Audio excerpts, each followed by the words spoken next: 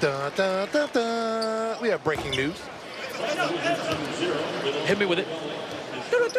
It is out on the internet. Adrian Wojnarowski is reporting that Derrick Rose is retiring after 15 seasons. How about that? Wow.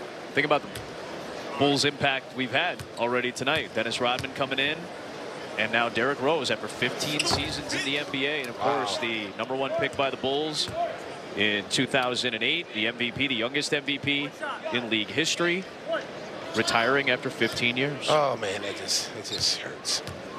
It hurts me.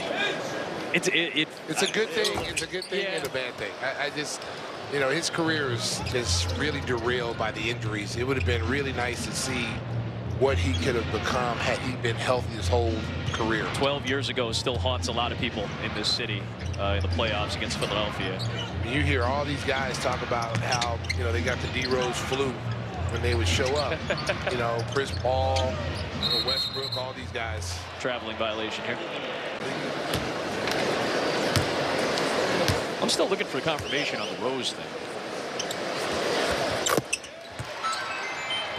Might have been tricked. Did you get tricked? Did we get tricked? We might have got tricked. I'm still looking. I don't see any confirmation just yet. I've had four people tell me you might have got tricked, King. Is that, the, is that the breaking news that you got tricked? Breaking news that I got tricked. Oh, maybe it was all cap. oh my I was goodness. like, I was like, wow. We, I was like, man, you surprised me with that news. I was like, shoot, that's. Well, it came it up on my, it came up on my feed, and I was like, well, let me see. Oh, and then I saw, I and I, mean- saw Woj. I'm like, See, reported I, this. I hope people understand that this is how innocent of a soul you are. Vucevic continues his hot start. This is this is an innocence. Oh. Impressive pass, Bull, and you saw the elevation from Coulibaly there.